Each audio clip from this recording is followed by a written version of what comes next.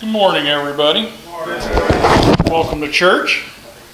Our announcements for today. Uh, don't forget the church barbecue is going to be August 7th uh, after the 11 a.m. service, so everybody come on out for that. Make sure you pick up the women's advance cards. Invite some ladies, you know, to the uh, the thing that's going on. Pastor Vicky's going to be doing that. I think that's what September. September. September. Um, as always, grateful food uh, pantry donations go in the uh, fellowship hall. The word for you today devotionals. Grab them, hand them out, and download the app. Amen. Amen. Oh, these things are all got me all twisted here. Um, let's open up in prayer. Heavenly Father, we thank you for this day. We thank you for your word, Father. Use me as your vessel to get your message out there. Open up the hearts of your people to receive it and just touch them in a very special way. Father, thank you. Just thank you for all these things. We love you, we honor and praise you in Jesus' holy name. Amen. So this morning, we're going to talk about truth, justice, and the American way as we get ready to go into July 4th weekend.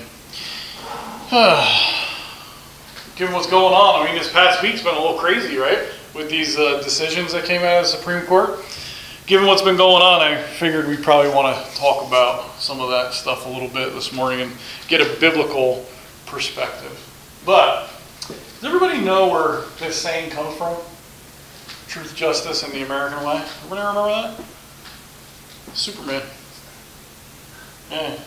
This actually came about on the, the uh, radio show. They did this, they came up with this slogan in the early days of World War II that Superman started to do this. It was to basically bolster patriotism and get them on board with the war effort. like I said, it was on the radio, but eventually it made it to the common, uh, comic books too. And uh, this, the use of this phrase actually became, well, it fell out of popularity around 1993. They started to remove it from the comic books, and, and it, you didn't hear it spoken of as much. And the reason why was because the idea of the American way began to fall out of favor. In, in light of the recent Supreme Court decisions this past week, you can see how true that really is. Now, there's another side to that, and I'll get to that in a minute. But you're beginning to see how these people are beginning to freak out, and they want what the traditional idea of the American way, you know, our idea of what it was, um, to fall out of favor because they want to institute their idea of what the American way is. And we're going to look at the biblical perspective of what the American way really, really is. We see all this rioting, looting, and everything that's going on, the lawlessness that's going on, because the nation has not only had the sense of itself fade away, but it seems to be almost dying at this point. And these people are really trying to push that narrative. And it's died because of the people have allowed the truth of God's word to fall from their minds, much less be spoken through their lips. Now, where does that come from? Well, let's look at this scripture first. We've all heard it, and you've heard this scripture before because I've spoken of it many times. Take a look at Deuteronomy 6. Let's start in verse 4. We actually talked about this, I think it was last week or the week before. It says, Hear, O Israel, the Lord our God, the Lord is one. You shall love the Lord your God with all your heart, with all your soul, and with all your strength. Now, before we go on, I want to share something with you there. You see in verse 5, it says, You shall love the Lord your God with all your heart. Where's your spirit man reside? In your heart. With all your soul. What is your soul? I've told you guys many times. It's your mental faculties. And with all your strength, where do we get our strength from? Right? This flesh, our body, this idea. So when you think about this, you're to love the Lord your God with your heart, your spirit, with your mind, your soul, and with all your flesh. Meaning, everything that you're made up of, this is how you should love your God. Everything you got should be given to Him. Verse 6 And these words which I command you today shall be in your, where? In your heart. You shall teach them diligently to your children. You shall talk of them when you sit in your house and when you walk by the way, when you lie down and when you rise up. Look what he says here. You shall bind them as a sign on your hand, and they shall be as frontlets between your eyes.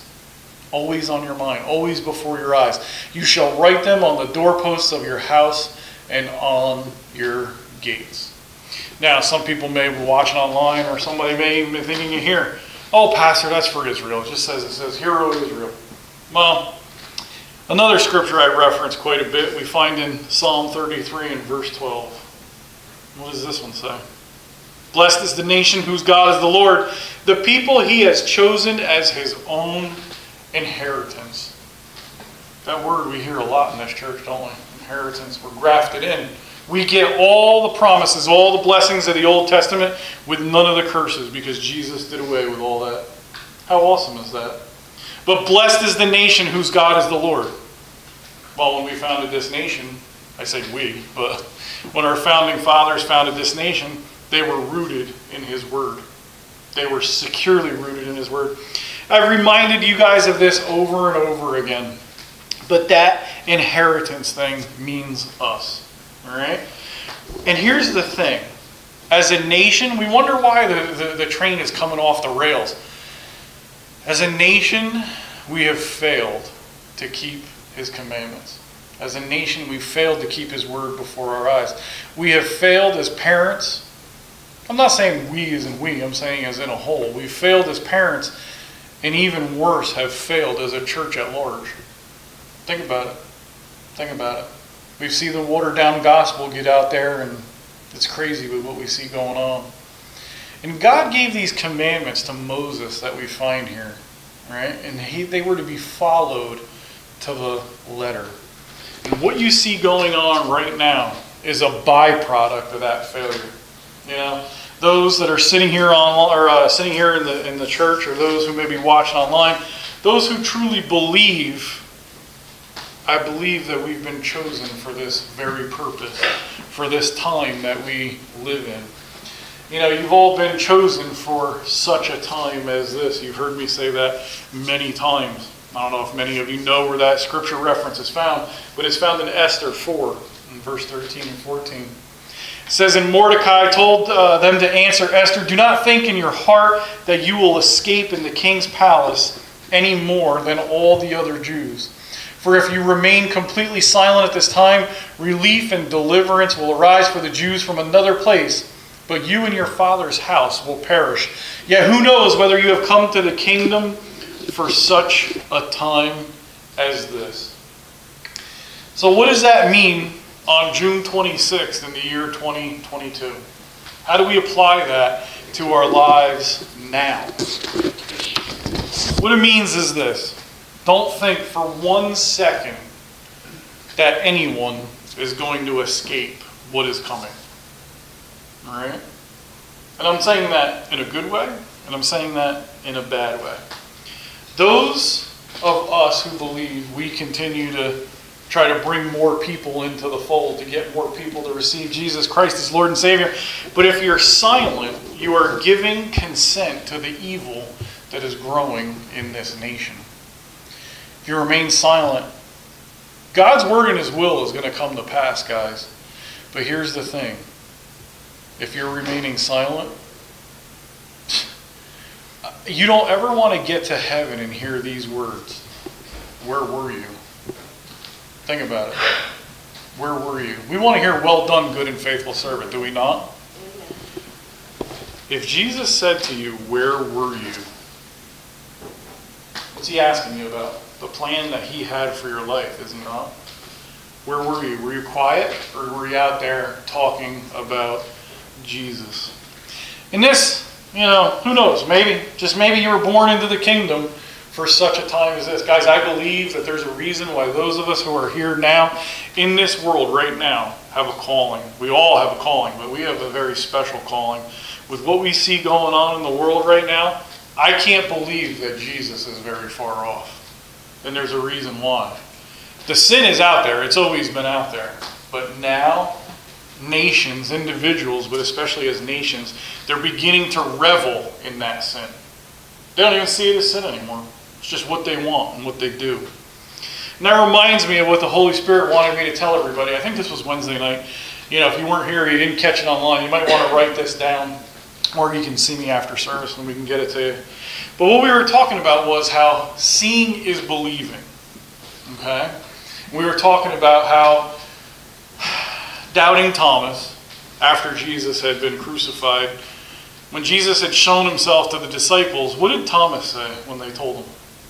He said, Unless I see it with my own eyes or put my hands in the holes, I will not believe. This presented a very real problem to the gospel, to the ministry of Jesus Christ. Why? Because one of his own, one of the twelve, was saying, I will not believe. But he wanted to see it.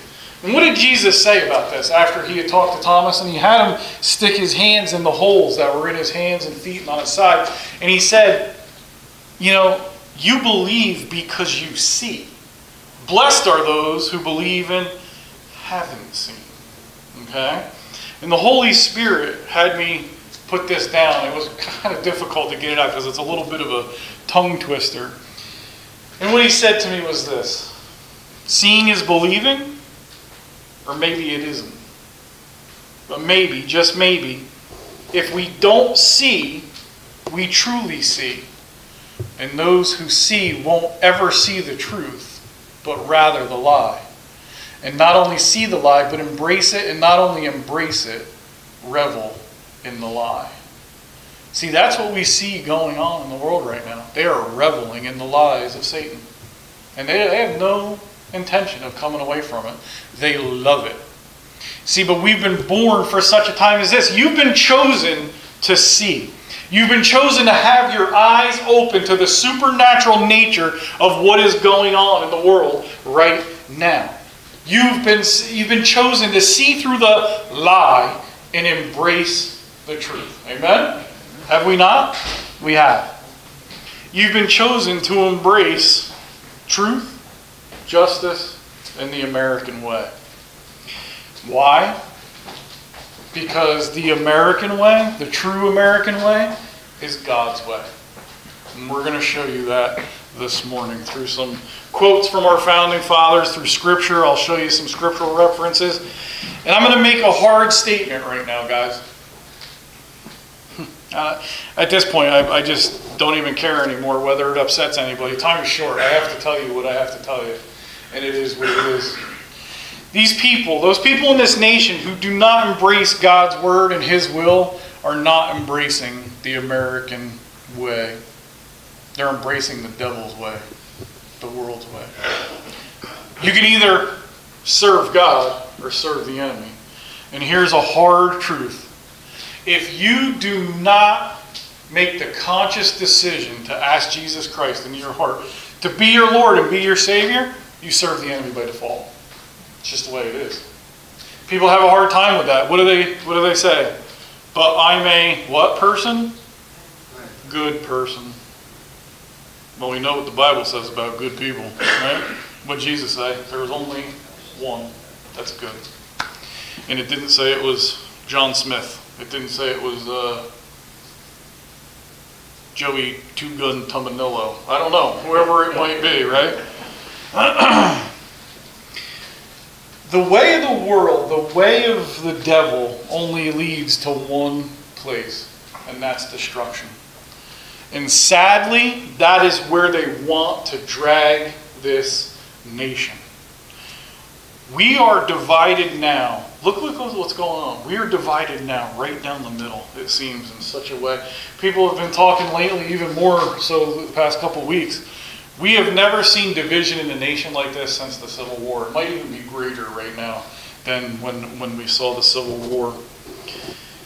In recent years, we've seen the chipping away of our freedoms, and we're beginning to see how people react we're seeing how God's people react and how the devil's people react.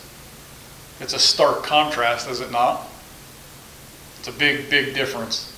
There's really no other way to put it, guys. You know, either you stand with God or you fall with Satan. That's it. That's it. Those are your two choices. It is really that simple. See, but with these recent Supreme Court decisions, we see, though, that there's a patriotic whisper in the air. Did you see what they're doing to Judge uh, Clarence Thomas. You see how they're they're going after him? Because he didn't end in that decision for Roe v. Wade. He actually said that maybe the Supreme Court should begin to look at other decisions that have been made about gay rights. Or uh, mar- what is it? Gay marriage or whatever it was. And what was the other one? Contraception and stuff like that. They want to impeach him. They want to impeach him from the Supreme Court. Why? Because he's speaking the truth. You know, I saw an interview with uh, with uh, the left's justice there, uh, uh, Ruth Bader Ginsburg. You know, these people are carrying on about the Roe v. Wade decision. Now, Christians look at this as a, a victory. And it is. It is. It is a victory. But uh, Justice uh, Ginsburg was being interviewed, and this was in 2013, and she said this The Supreme Court never should have weighed in on the Roe v. Wade case in the first place. It was never a constitutional right. It's not in the Constitution. I actually had a, a woman say to me the other day, and she didn't know. It's okay. She said, no. She's like, she's like, Kyle, that's a, that's a constitutional right. It's one of the amendments. The idea of abortion. And I said, no, it's not. She had referenced how they said, or that how they had referenced the 14th Amendment when they had made this decision. But see how people can get something and just get it so wrong and twisted? Why? Because they're being pushed a narrative, and it's a narrative that's not true. You know, people even want to hide this one. In World, uh, I think it was actually before World War II. It might even have been in his book. Hitler wrote and talked about if you lie enough and push that lie, people will believe it, and it'll begin to become accepted as the truth. Now, nowadays, what do they try to tell you? He never said that. It's amazing how history is beginning to disappear, isn't it? I'm going to get to that a little bit today, too. Like I said, we've seen the chipping away of our freedoms. Guys, I'm telling you right now, what you've seen go on in the past, it's crazy how we're now in 2022, right? The pandemic is now two years old, and it seems like it's been just such a long ride. But they've been chipping away at our freedom slowly for a lot longer than that.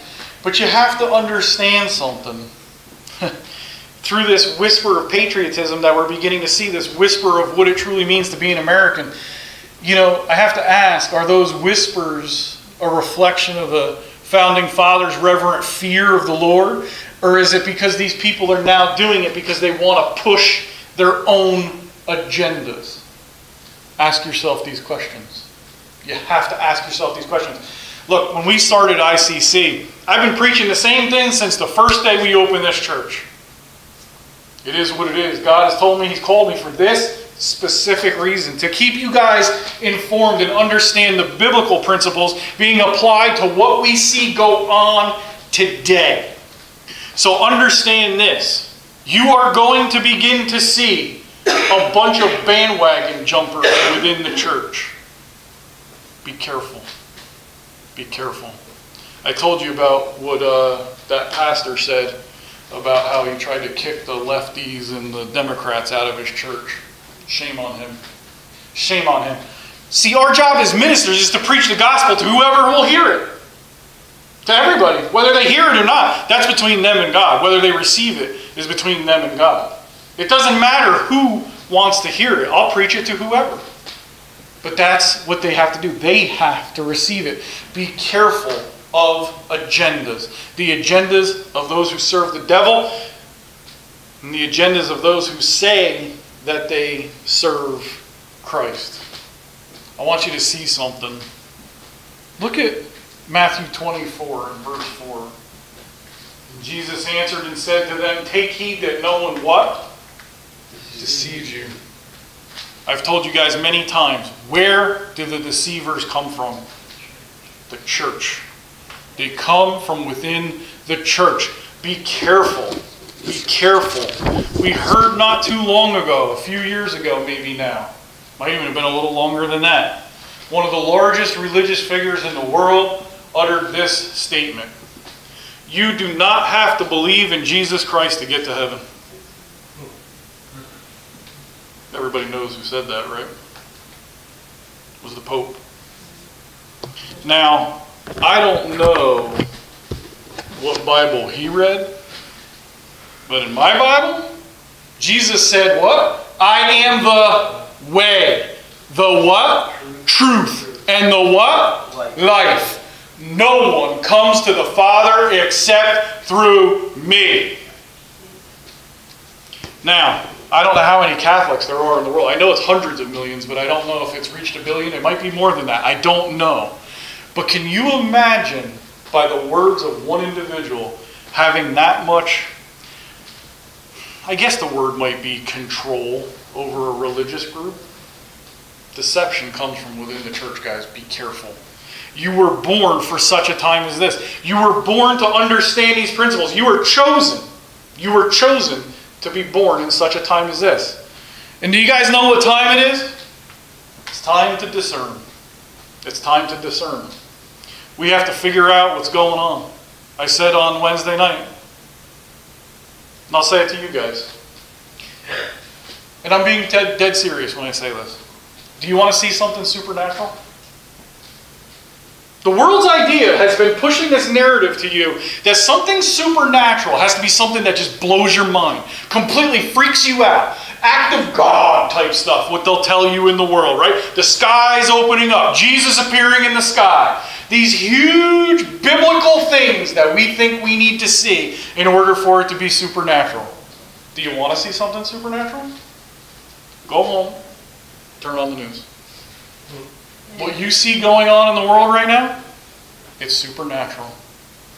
Matthew 24 is playing out like they're reading from a script. Because you know why? They are. The devil. There's a reason why Jesus said the things that he said in Matthew 24. But see, there are voices from the past, from our founding fathers. They were spoken so clearly of a nation that they were trying to form that had this reverent fear of the Lord. And they weren't voices of rebellion as the modern church will teach. Let me just give you a little brief thing here on authority, quick. I think next week we may revisit the whole authority thing. Well, not, we're going to do the July 4th thing, but maybe we'll go into biblical authority. But let me just give you something this morning for all of you. Romans 13, that's where we get this idea of biblical authority. People will tell you all the time what it says, right? All authority comes from God. I heard somebody tell us in a class one time, even evil authority.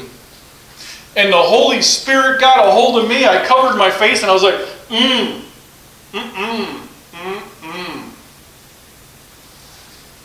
What do we talk about? God is what? Good. If God, only good comes from God, how do you think evil authority that's going to oppress his people, how, how do you think that came from God? Newsflash, it didn't. See, the only authority, the only pertinent authority is God. So if people aren't operating, that when they're operating in authority, it's no authority at all. It's men doing what men do and screwing everything up like we've always done from day one. Right? Adam and Eve. Right? The joke. You guys have heard it before here? Eve ate us out of house and home. right? No? You guys aren't cheery today? All right. Apparently, Eve ate us out of house and home. But she was deceived. So I always say it like this The devil lied, but did he lie? No. He lied, but he didn't lie. He deceived. He deceived Eve, did he not? And of course, Adam, whose job was to take care of everything that went on in the garden, right? Mom, as my cousin would say. He's standing right next to Eve. When God says, What did you do? What's the first thing that Adam does? Blame him, blame God. He said, The woman you gave to me gave me of the apple I ate. How about Cain and Abel? Remember after Cain killed Abel? And God comes and starts talking to him? Remember how Cain was when he says, Where's your brother? Am I my brother's keeper? Oh. What was this dude thinking to talk to God like that, right? Man has been screwing this up from the first and second generations, and it has gone straight downhill ever since, right? Remember when God hit the reset button with Noah? Oh, you're my faithful. We'll take care of this. You guys are going to be good, right? Noah. People mocking him and all this stuff. So, what was God's sign that he would never destroy the earth by a flood again? The We saw that symbol hijacked, didn't we? Yep. We're still in Pride Month. Are you kidding me? Are you kidding me?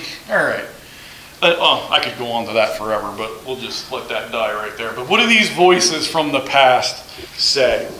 The foundation of this country, though, is clearly spelled out from the words of uh, a guy by the name of William Bradford. Does everybody know who he was? He was the first governor of the Plymouth colony, founded in 1620. And this is what he said They cherished a great hope and an inward zeal of laying a good foundation for the advancement of the gospel of Christ in the remote parts of the world.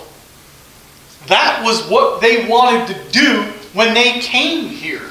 It was to bring the gospel into the remote parts of the world. See, it's very evident that the men and women who laid the foundation for this nation were men and women who had a fear of the Lord. Look at these quotes, though, from our founding fathers and some of the national leaders from that time. George Washington once said, It is impossible to rightly govern the world without God and the Bible. Does that put you into his perspective a little bit of how he was doing this? In his farewell speech in 1796, he said, Of all habits which lead to political prosperity, religion and morality are indispensable supports. Reason and experience both forbid us to expect that national morality can prevail in exclusion of religious principle. How true is that? I think a few weeks ago I said a nation is only as strong as its church within it. Think about it. Think about that. George Washington was a man of prayer who could grasp the heart of God. When I say that, when I say that, I mean he got God. He understood God. He prayed. One of his prayers, this is what he said Direct my thoughts and words and work, wash away my sins in the immaculate blood of the Lamb, and purge my heart by the Holy Spirit. Daily frame me more and more into the likeness of thy Son, Jesus Christ. Quite poetic, huh? What a lot of people fail to understand is that all the colleges within the colonies back then were Christian colleges. When you went to college, do you know what you went to college for? Theology. You were a minister when you came out. All of our founding fathers that had been college educated were ministers. If they went on to be lawyers or anything else, they had to train in that profession after college. But think about how young these men were when they began to found this nation. You know, when we went to Colonial Williamsburg, we were talking about Thomas Jefferson. If you mention Thomas Jefferson in Colonial Williamsburg, they kind of laugh at you because he was a nobody. He was at William and Mary when most of this was going on. The only reason why he became so prolific and in the spotlight was because of the man that he was studying to be an attorney with. What was his name? Wythe. Wythe. Yeah. The original founding fathers, there were some guys you never even heard their names.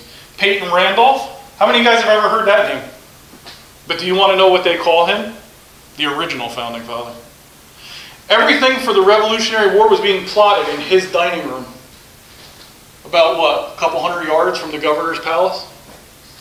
We stood in that room.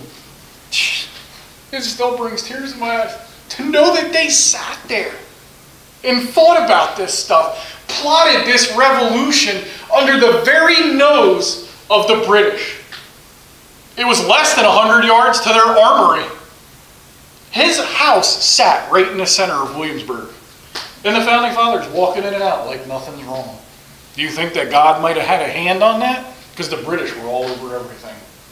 Of course, God had a hand in it. But see, with a prayer like that, does that sound somebody? Does that sound like somebody who doesn't know God? Oh, he knew God, and God knew him. Thomas Jefferson, the guy that everybody likes to talk about, how Thomas Jefferson wasn't a Christian. Sure, in his early days, Thomas Jefferson used to rip the pages out of his Bible that he didn't believe. Yeah, well, kind of like a little kid. Remember how, you, how little kids were? Right? What they, if you're talking to them, what do they do? La, la, la, la. Can't hear it, it's not happening. Or what do they do? Right? If I don't see it, it's not happening. Thomas Jefferson said this God gave us liberty. And can the liberties of a nation be thought secure when we have removed their only firm basis? I tremble for my country when I reflect that God is just and that his justice cannot sleep forever. God's justice will not sleep forever, guys. He knew the need of the nation to walk in this reverent fear of the Lord and to live with a biblical understanding of what it means to live in that fear as a nation and as an individual. God's justice will not sleep forever. And we are about to see that justice manifest. Trust me. Trust me. These Supreme Court decisions that you see now, the whisper of patriotism in the air, you're seeing a clear division of who is on which side of the fight. We're going to take a look at Psalm 33. We're going to read the whole thing. I might stop in here and explain a couple things to you. But this title of this, this psalm is this The Sovereignty of the Lord in Creation and History. Listen to what David writes down here. Rejoice in the Lord, O you righteous, for praise from the upright is beautiful. Praise the Lord with the harp. Make melody to him with an instrument of ten strings. Do you guys know why it's ten strings? Why he said that? The number 10 is perfection. All right? Just so you get an idea. Sing to him a new song. Play skillfully with a shout of joy. For the word of the Lord is right, and all his work is done in truth. He loves righteousness and justice. The earth is full of the goodness of the Lord. By the word of the Lord the heavens were made, and all the host of them by the breath of his mouth. He gathers the waters of the sea together as a heap. He lays up the deep in storehouses. Let all the earth fear the Lord. Do you think that that might be, well, let me say it this way. It's not a coincidence. How the, how's that? It's not a coincidence that you see there in verse 8, let all the earth fear the Lord. These men are talking about this reverent fear of the Lord that they had when they formed this nation. In Matthew 24, towards the end, they, the disciples are asking about when will these things happen? Right? Jesus tells them what's going on. He said, but the end is not yet. The end will not become until the gospel has been preached to every nation. See, the God isn't the God of America. God isn't the God of the UK. God isn't the God of Mexico. God is the God of all creation.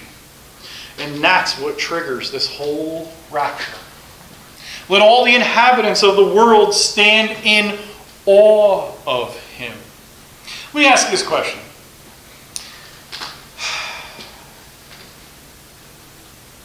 If God wasn't seeking to have the whole world recognize that he is a loving God and loves every single person in this world, would he be a very good God if that wasn't found in his word? That the gospel needed to be preached to every creature? To all nations? Not really. Which is why it's there. It's why it's there. The whole world is to love him and stand in awe of him. For he spoke and it was done. He commanded and it stood fast. The Lord brings the counsel of the what? Nations to nothing. Let me ask you this question. United States. We've been kicking tail and taking names for what? Almost 250 years. Right? The Supreme Court decisions that came out the other day, what's that dude's name? Macron started criticizing the Supreme Court decision. Hey, Macron, newsflash, we're Americans. We don't care what you think. You see all the prime ministers of who all these nations saying, oh, this is terrible. Hey, guess what? We're Americans. We don't care. This is a Christian nation. We follow God's word here. We don't care what the rest of you do. I seem to remember a time not in the too far distant past was a little conflict we know as World War II.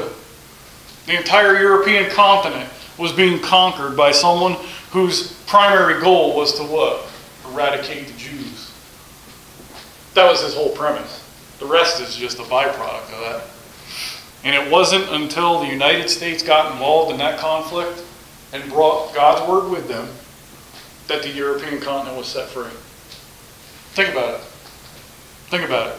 Do you think that would have happened without the grace of God upon the United States? You guys know a little part of history? You want to hear a little part of history this morning? I got a little time. If you don't, I won't tell you. Nobody was eager to hear it. Okay. The night before the invasion of D-Day, out on D-Day, Rommel, the Panzer General, the, the, the one that controlled all their tank divisions, wanted to move their pan, his panzer divisions to Normandy. He knew something was up. Rommel was not allowed to move those panzer divisions without Hitler's say so. They could not find Hitler the night before the invasion. If those panzers had been near those beaches on D Day, it would have been a slaughter. Trust me, guys, it wasn't much less than a slaughter that we took those beaches. We had a toehold. That toehold was by the grace of God. Think about the things that have happened. I can tell you stories about how when we went to Williamsburg, the entire Continental Army and the French Army marched into Yorktown under horrific storms that were going on, set their battle lines at 800 yards, which is standard for the time, mortars and cannons all ready. It rained and thundered and lightning. It was terrible. That night, Washington ordered all battlements to be moved forward another 200 yards. It still continued to rain and thunder and lightning under fog. The British didn't know that they were there. So Washington ordered, ordered them to advance. I think they finally got to within 200 yards of Yorktown. They never knew they were there. And it was where their greatest general, Great Britain's greatest general, was. And Washington knew that if he defeated him, it was over. Washington ordered them to within 200 yards of Yorktown. When they were ready for battle, the sun came up the next morning, the birds were chirping, unicorns were grazing in the field. You catching my drift here? It was the perfect day. And the British woke up and looked out on the field and said, I'm sure that's literally what happened, right? And Washington said, surrender now, no blood needs to be shed. The answer was no. Now, I don't know if you guys know anything about mortars, but they're to be fired in the air and they fragment and then they explode over there. They were so close. This was less than point blank range for mortars. Washington ordered the cannons and the mortars pointed directly into Yorktown and began to fire into the fort. Imagine shrapnel flying everywhere. You want to know what their general did? Cornwallis? Jumped off the cliff and held and uh, hid in a cave by the bay. When they got down to the bay, what did they see in the bay? The French fleet. He let the battle go on.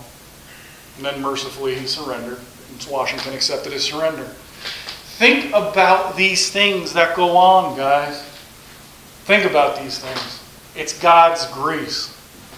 The Lord brings the counsel of the nations to no effect. We're Americans. It doesn't matter. We follow God's word here.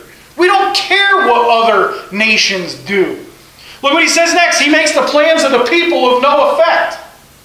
Boy, we see a lot of plans of the people out there, don't we? Did you hear about that group, Jane's Revenge? That was supposed to blow up all these churches all over the place on their night of rage? But you're not hearing in the media. Do you want to know why this didn't happen right away? I still talk to the Patriot groups. Patriots went to the churches all around this country and sat in the parking lot to make sure nothing happened. But you won't hear about that on the news. What you'll hear about is how finally things, people think they can go back to normal, and that's when the devil will strike. See, you don't hear the truth anymore, which is why I tell you the truth here on Sundays. The counsel of the Lord stands forever, the plans of his heart to all generations. This is what we just read. Blessed is the nation whose God is the Lord, the people he has chosen as his own inheritance. The Lord looks from heaven; he sees all the sons of men from the dwelling place or from the uh, the place of his dwelling. He looks on all the inhabitants of the earth. He fashions their hearts individually. He considers all their works. Do you really want to hear where were you? Think about this. No king is saved by the multitude of an army. A mighty man is not delivered by great strength. A horse is a vain hope for safety, neither shall it deliver any by its great strength. Do you know what verse 17 really means is? What, what this meaning is? You can't run. There is no running from this. There is no hiding from this. Behold, the eye of the Lord is on those who what? Fear him and those who hope in his mercy to deliver their soul from death and to keep them alive in famine.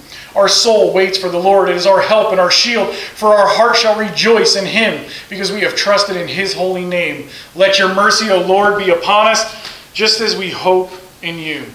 King David there illustrates to us the divine providence of Almighty God. That's what he's doing for all the earth. America needs to take heart to not only what King David said here, but also to what the founding fathers knew as the absolute truth. The counsel of the Lord is greater than the counsel of men. Why do you think I pray the things I do about our elected officials? Are we supposed to pray for those in authority? Absolutely. We are.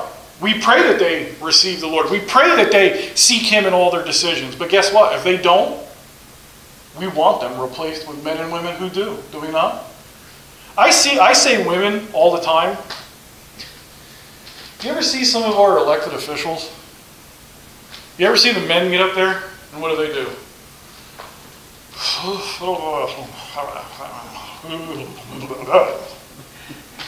And what do you want to do?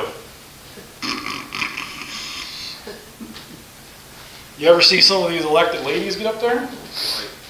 Woo! The mama bear comes out. You guys ever see, uh, what's her face? Lauren Boebert? Boebert, I don't know how you say her last, but you ever see her talk? When she gave her speech on the whole gun thing, and she goes, like just like this, she gets up there and she goes, I would like to start this morning by telling my colleagues on the other side of the aisle, thank you. Thank you for everything that you've done because you've advanced gun sales and gun rights further than anybody else by yourself, single handedly. See, these ladies tell it like it is, and they're not afraid. I always say that the women are the more faithful of our species, and it's very, very true. See, as I said, Christians know what it must be, what it has to be in order for this nation to be a Christian nation, to receive the blessings that we've seen. And we also know that as individuals, we've inherited this mighty plan plans for a future and as a, a hope, as the Bible tells us. When we do this, we're blessed with His protection, His guidance, and His provision. Amen? Seek the Lord. Seek the Lord. A man named Ross once said, When a nation and his people walk in obedience, there is an unspeakable joy. How much joy do you see in the country right now? not seeing any at the moment, right? How true is that? How true is that? Take a look around, guys. The answer should be very clear to you at this moment. People doing it the devil's way instead of God's way. Or as we're talking about, the American way, which is God's way. They are seeking to kill this nation. Make no mistake. Have you ever seen a time where people are making decisions that are affecting the people of this nation so horribly and they don't care? And they play it off like they are. Like it's just, everything's just great. Well, we know it's not great. If I pulled my pockets out right now, there'd be nothing but lint hanging out of them. Why? Because it's costing us an extra, what is it now, like $450 a month to go to the grocery store? Look, I grew up in the 70s. I was little, but I remember the gas lines. You guys remember? You remember that, right? Remember sitting in the line with your parents? I sat in. Yeah, there you go. Stan? I can remember sitting in the car with my grandmother for hours to get what was it, five gallons of gas or something? It was it was a it was a rationing thing, and it went by your license plate. Every other day. Every, yeah. Those days aren't too far off, guys. We see our blessings for keeping God's word that we saw in our, open, in our opening scripture. Look at Exodus 19 and verse 5. This gives us a clear promise. It says, Now therefore, if you will indeed obey my voice and keep my covenant, you shall be my treasured possession among all people, for all the earth is mine. That wasn't just for the Jews, we're grafted in now. Those of us who keep his word, we are his people. You know, as I said the other day, if you want truth and be able to reference the truth, to read it and hold it, you better get it in hardcover. Guys, you are not going to be able to find the Word of God the way it is today. Get off of this for your Bibles. Get this. I can't tell you the number of Bibles that are in our house. Right? Why? You need them. Pastor Nicky, you guys know I'm a Bible nerd, right? I read my scripture, then I read Matthew Henry commentary, just to make sure that I'm in line with where, you know, I think the, the Bible's going. Pastor Nicky bought me his commentary. It's all hardcover. It's about this wide. And I said, man, if we ever have to bug out, I'm going to have a problem. I got to pack all my books. I won't have to pack guns because I don't. Guns are bad. Guns are bad. Just for the record, in case anybody asks for my sermon one day. Right? I won't have to pack anything except my books. Look, I'm not going anywhere. Right? Why? Because you have to have faith that the Lord is going to take care of you. Amen? He's going to take care of every single one of us. Right? But think about this the written words of our founding fathers, if you go online nowadays to find something, it's amazing how Google just makes the words of the founding fathers disappear. They didn't say that. They were slave owners. They did this, they did that. Look, guys, are men perfect? No. We've been messing stuff up, like I said, since the beginning, right? But if you want something that you can reference, you better get it in hardcover. The prophet Isaiah is a truth that affects all the nations on the earth. He wrote in Isaiah 4, uh, 52.10, The Lord has made bare his holy arm in the eyes of all the nations, and all the ends of the earth shall see the salvation of our God. Guys, the whole world is going to see the salvation of Almighty God. Is everybody going to be saved? No. But everybody will see it. Do you understand that? The world is going to see it. When we get raptured out of here, there will be those people who say, Oh, wow. Wow. This whole thing about Jesus was right. The world's going to say that aliens took us. But those who love us is going to they're going to know a whole different story. Now, will they receive the Lord? The Bible tells us that there will be a great number that come out of the tribulation, but they're not saved. There's a difference. See, we're saved from wrath. They're not. They will go through it, sadly. But will we see them in heaven? Yeah, we will. We will, because they've received the Lord. How good is God? See, it's not like you have to be, in order to get in it, you got to be in it for the rapture, right? But why not get raptured out of here?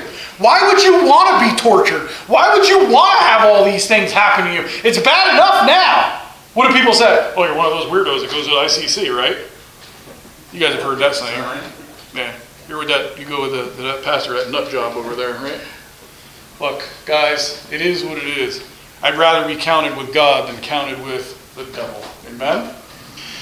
Luke testified to the ministry of John the Baptist here. He says the same things as Isaiah said. Look at Luke 3 6. And all the people will see God's salvation. I just explained it to you. God's deliverance of Israel in the past, present, and future will cause all nations to acknowledge the Lord. I keep telling you guys, I tell everybody this keep your eyes on Israel.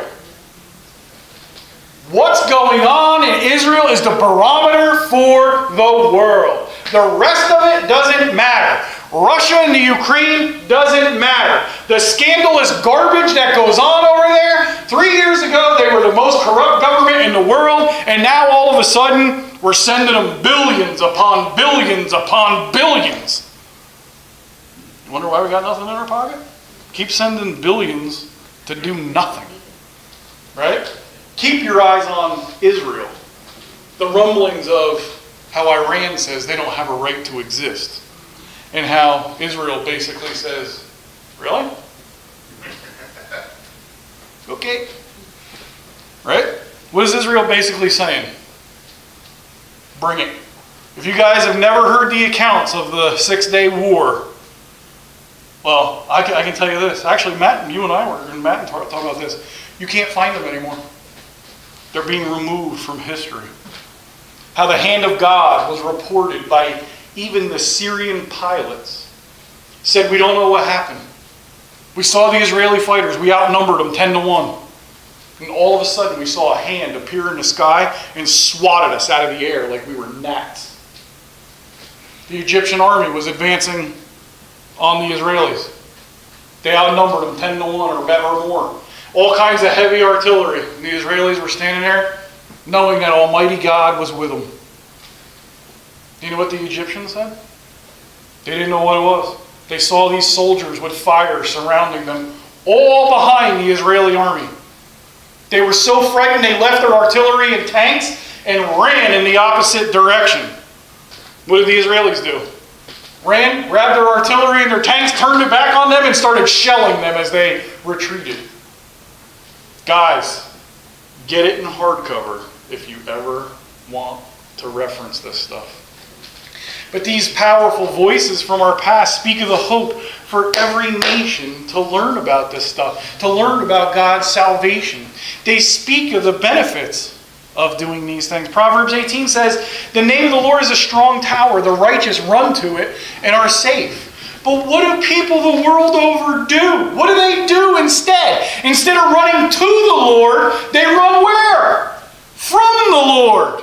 God already knows you, or knows you messed up. All He wants you to do is fess up to it. That's it. Our Bible tells us in Psalm 20 and verse 2 May He send you help from the sanctuary and strengthen you out of Zion. But that's that inheritance that I keep talking about. Psalm 91 and verse 4 says, He shall cover you with his feathers, and under his wings you shall take refuge. His truth shall be your shield and buckler. See, the God is a God of all sufficiency for everyone. For everyone. Matthew Henry said it like this As they diligently seek his will for them, through the counsel of his word, they enjoy his attributes, have authority under his titles, and embrace his covenant, and cling to his promises. there was a guy, he was a Dutch watchmaker, his uh, name was Cor, uh, Corrie ten Boom, and he helped Jews escape the Nazis during World War II. You don't really hear about him a lot because we always hear about who? Anne Frank, right? The Diary of Anne Frank. But this is what he did as well. And um, they understood this truth. I actually think it was a woman. Yeah, I think it was a woman. Yeah, it was a woman. But she said this When Jesus takes your hand, he keeps you tight. When Jesus keeps you tight, he leads you through your whole life. When Jesus leads you through your life, he brings you safely home. How cool is that? From over here all the way to home. And what was she doing? Trying to get the Jews away, home, right? Away home. Sam Adams, for you ladies who love romance and love, if you ever have a chance, read the letters between Samuel Adams and his wife Elizabeth. They're cool. They're amazing. I couldn't imagine being separated from Pastor Nicky for very long. These guys spent more time apart than they did together. All right? But their love was so strong. Look at what he wrote to his wife. This was the day after Christmas in 1776. And this is how he wrote to his wife Let us secure his favor, and he will lead us through the journey of this life. He spoke to his wife about godly principles. Men, how often do you talk to your wives about God, about the love He has, the love you have for her? See, the, the voices of our founding fathers tell us to run to the Lord, and we will be safe if we're at the center of His will. Those same voices urge us to intercession for the Lord. You guys know this scripture a lot, right? We've seen it a lot. Second uh, Chronicles 7 14. How much did we see this through the pandemic? How much did you see this scripture? It was all over the place. Now let me let me throw a little background into this. What did they immediately try to do during the pandemic? Close the churches. Yet people were screaming this from the rooftops. See, pastors should have had enough will within them to continue preaching the Word of God and be in their churches, but they kowtowed. Look what it says. If my people who are called by my name humble themselves and pray and seek my face and turn from their wicked ways, then I will hear from heaven and I will forgive their sin and heal their land.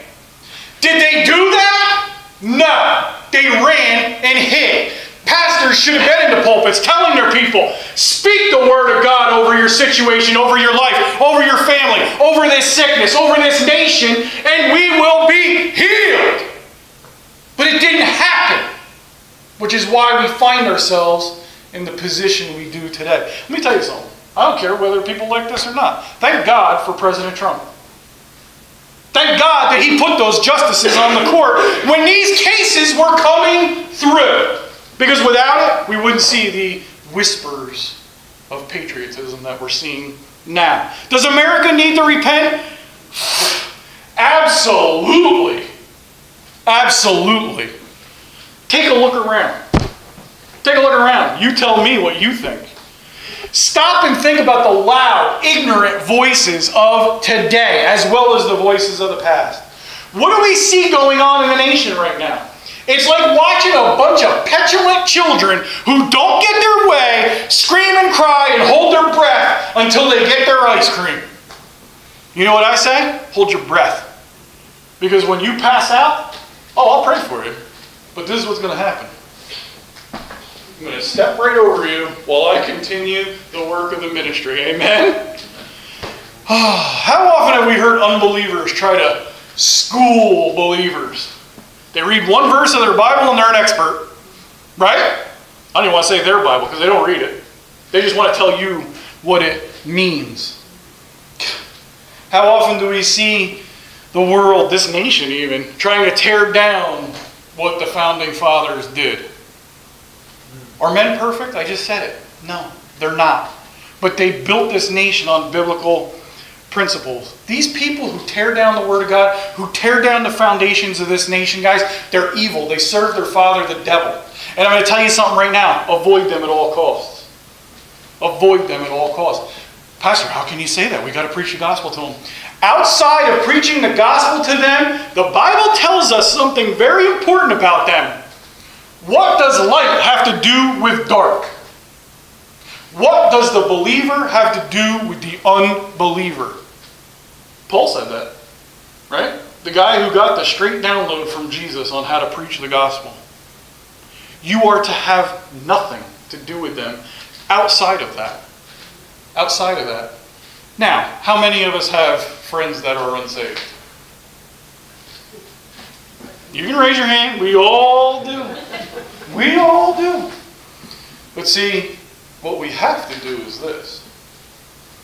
When your unsaved friend says, It was a rough week. I'm pretty mad. Just run out and rob a bank. Now, what do you say? This is how I say it. Amen. And they're like, oh, we should rob a bank? No. You just said amen. It's bad. We shouldn't go rob a bank, though. See, but I said amen. So where do they think you're coming from right away? You got Jesus on your mind. What is it? How's that phrase go? I got my mind on my money and my money on my mind. I got my Jesus on my mind and my Jesus. What? Jesus on my mind and my. Something you guys know what I mean, right? Tongue twister right here today. I can't get it right. But they know where you're coming from, right? What do you have to do with them? Are you not tweaking the gospel there a little bit every time you talk to them?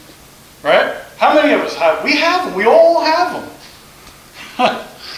Guys, avoid these people. Think about these things. We see those experts who read their Bibles today, right? The ones who read it from a historical perspective. And what do you hear them say on all the documentaries? I've studied the Bible extensively for 37 years. I know every word in there. I know what the Bible means. Really? Because unless you come up with the one understandable truth, is that this is a book about love. You haven't learned a thing, and you know nothing of its contents. Well, they don't like to hear that, though, do they? They don't like to hear that. I'm sure you've heard people say, you may even thought of yourself, that America is no longer a Christian nation. And it's easy to see why people would say these things. But we have to know what history tells us. Have we seen this morning, or as we've seen this morning, we've seen that our Christian faith has founded this nation from its inception, even in Plymouth, or uh, in the colony of Plymouth in 1620. You know, the claims, even though that we know these things, the claims that America is no longer a Christian nation persist. And often those claims aren't refuted. And it's due to widespread lack of knowledge of America's history in this foundation that was laid by the fathers. Maybe really what it is is these claims fail to share the real idea of what a Christian nation is. David Barton from Wall Builders said this. He wrote a book, it's called Is America No Longer a Christian Nation? And this is what he said in it. Regardless of what today's Americans think, it is unquestionable that four previous centuries of American leaders strongly disagree with any statement that presents America as not being a Christian nation. And he went on to say, the voices from our past, our presidents, legislatures, and court decisions speak powerfully about America being a Christian nation. Research can tell you what a Christian nation is, and a Christian nation is not one in which all citizens are Christians. Neither are the laws required to be in accord with Christian theology or where all the leaders are Christians. Now, people might hear me say that, of what, uh, quoting him, and be like, Pastor, what are you doing? That's like going against what we're talking about here this morning. He's referencing something that uh, Supreme Court Justice David Brewer said. Now, understand this David Brewer was born in 1837 and passed away in 1910. Okay? So this was much later than the Constitution, the Declaration of Independence. And this is what he said In what sense can America be called a Christian nation? Not in the sense that Christianity is the established religion or that the people are in any manner compelled to support it. On the contrary, the Constitution specifically provides that Congress shall make no law respecting an establishment of religion or prohibiting the free exercise thereof. Neither is it a Christian in the same sense that all its citizens are either in fact or named Christians. On the contrary, all religions have free scope within our borders. Numbers of our people profess other religions, and many reject all nor is it Christian in the sense that a profession of Christianity is a condition of holding office or otherwise engaging in public service or essential to recognition either politically or socially. In fact, the government as a legal organization is independent of all religions. Nevertheless, we con- this is where this all he brings this all together. Listen to what he says. Nevertheless, we constantly speak of this republic as a Christian nation, in fact, as the leading Christian nation of the world. What's he getting at? Its citizens. Where, where are we made up? What are we comprised of? Do we believe in God's word? Are we all Christians? He's saying it doesn't have to be, but we all believe in God. See, the founding fathers, something that people don't really think of, in all their wisdom and all the guidance that God had on, upon their lives and in the, in the founding of the documents in this country, it never occurred to them that people wouldn't love Jesus. Think about that. It never occurred to them. So when they said freedom of religion, sure. Why? Because they knew that 99.99% believed in a loving God. Never occurred to them. See, so I have to ask what are these experts out there that are telling us this, that, and the other thing, basing their opinions on? It's not fact. They seem to like bring it up a lot now, right? We're not interested in facts anymore. We're interested in the truth. Well, they make the truth whatever they want the truth to be. It doesn't matter whether the facts do or don't support it. See, you can't legislate morality, guys. We've seen that. We've seen that. You can't legislate morality. And you can't force anyone to be a good Samaritan. You cannot beat someone over the head with a Bible and hope that they receive Jesus. What are they going to do? They're going to tell you, yeah, I believe in Jesus, so you won't hit them over the head with the Bible again. The only way to reach them is through love. See, free will is how this gets done. Free will prevents us from forcing the Ten Commandments on anybody. Free will for, uh, uh, prevents us from doing this. But the, the re- excuse me, they're referenced within our founding documents. And they have framed what we call the American way. American presidents have affirmed this. Legislators have affirmed this. People from all over have affirmed this. Let me give you some quotes and then we're going to wrap this up. Thomas Jefferson told a friend, No nation has ever existed or been governed without religion, nor can it be. The Christian religion is the best religion that has been given to man, and I, as chief magistrate of this nation, am bound to give it the sanction of my example. John Adams wrote to Thomas Jefferson on June 28, 1813 uh, The general principles on which the fathers achieved independence were the general principles of Christianity. Think about this, guys. If the founding fathers thought for one moment that when they were fighting against the king, because now remember what we talked about, Romans 13, right? This idea of biblical authority. He was the authority, was he not? If they thought for one moment that they were rebelling against God by doing that, they never would have done it. And in one of these quotes, you're going to see what he says.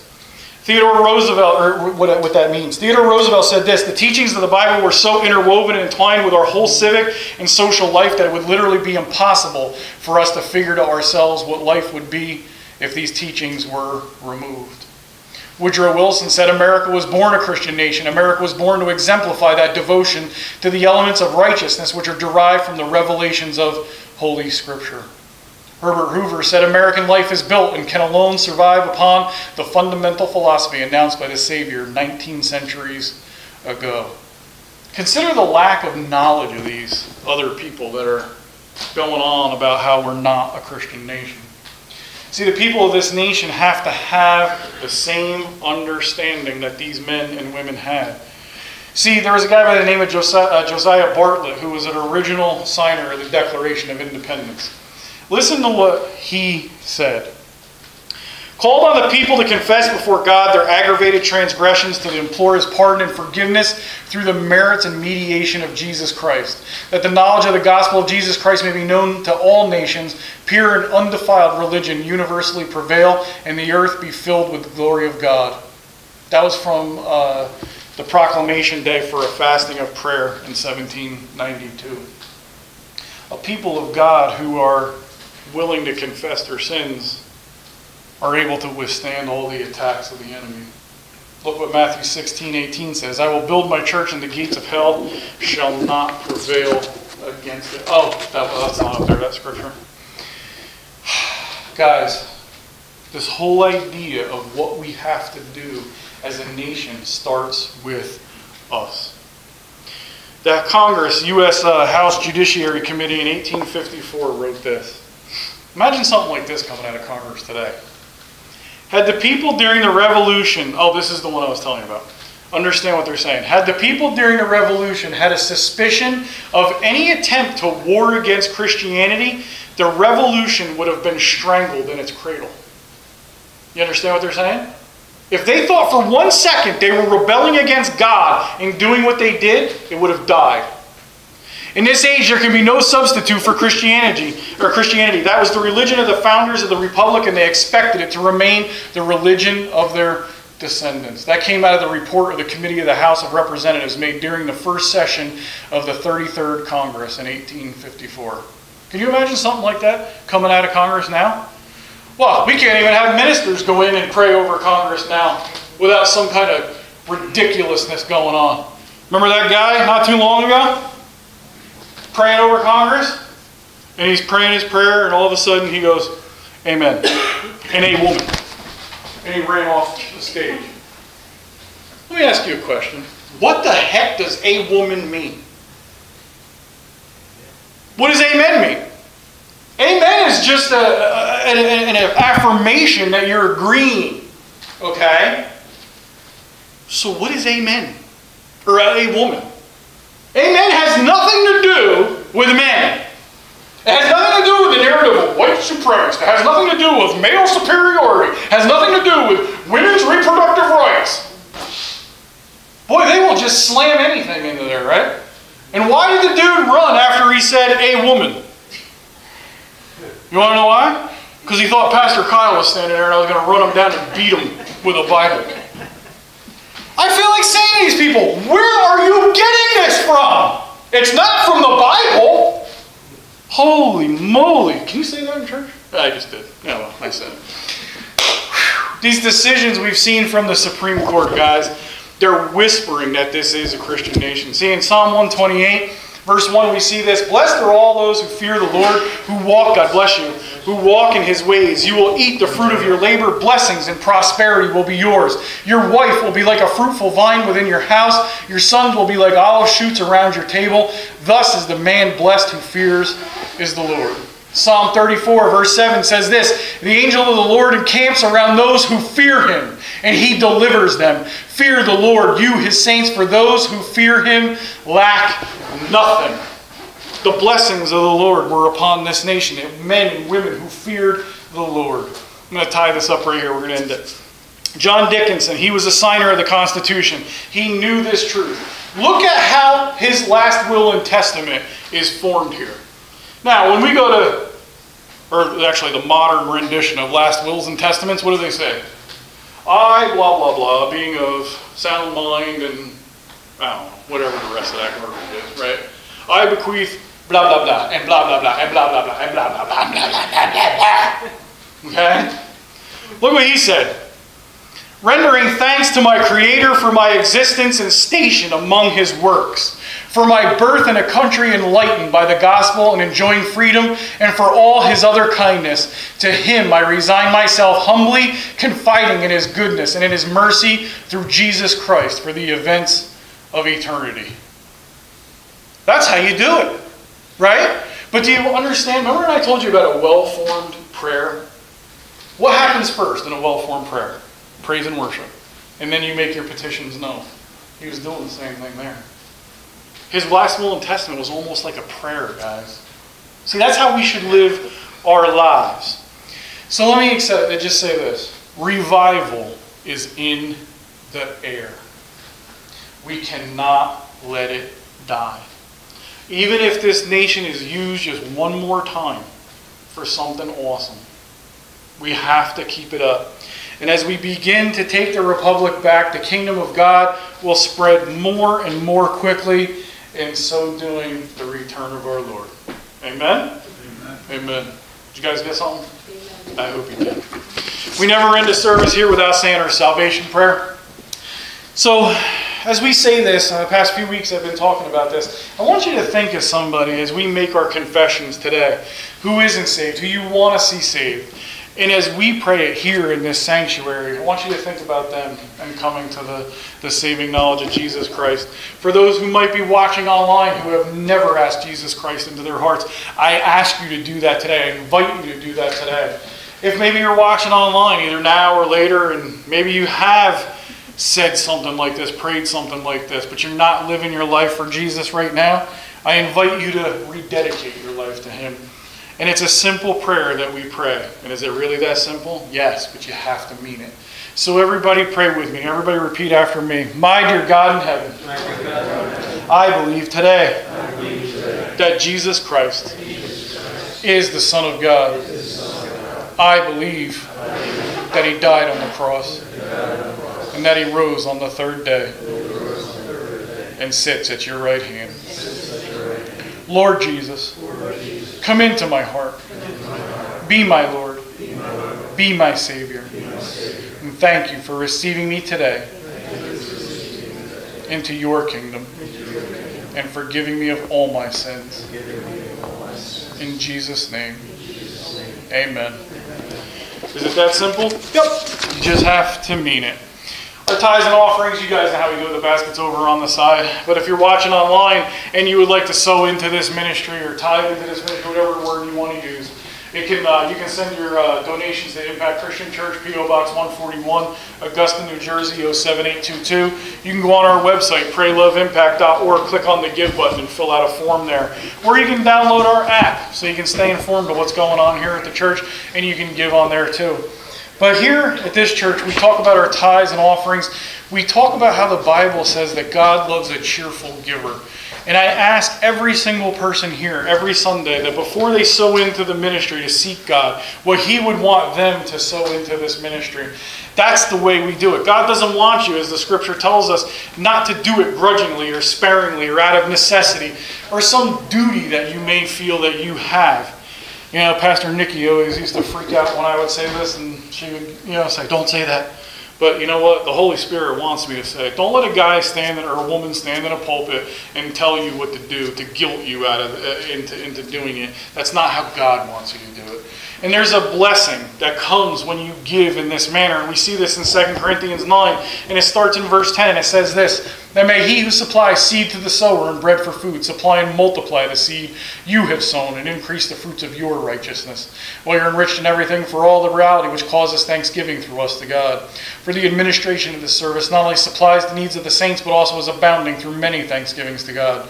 While through the proof of this ministry they glorify God for the obedience of your confession to the gospel of Christ and for your liberal sharing with them and all men, and by their prayer for you who long for you because of the exceeding grace of God in you. Thanks be to God for his indescribable gift. Amen. Amen. Amen. Let's pray and then we'll fellowship.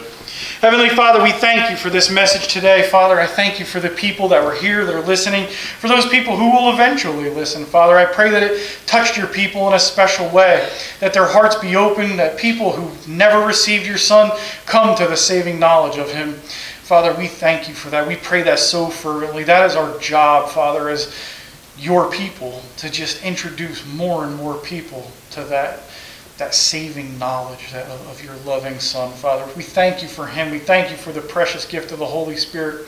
And Father, I lift your people up before you, Father, for protection in the physical, the financial, the emotional, the mental, whatever it may be that this crazy world throws at us. Father, always remind us that we take up the shield of faith first, according to your word. That in faith we stand on your word and know that it will be done. And in faith, Father, in this nation, we lift her up before you. Father, use us again, even if it's only once more, Father, if the Lord is coming quickly or should he tarry, whatever it may be, we continue to lift this nation up before you that your arms be wrapped around her and guide her. We lift up its elected officials before you, Father, that they seek you first in all things. And if they don't, use us in a mighty way to remove them and put men and women in those positions who do seek you. So, Father, we thank you for those things.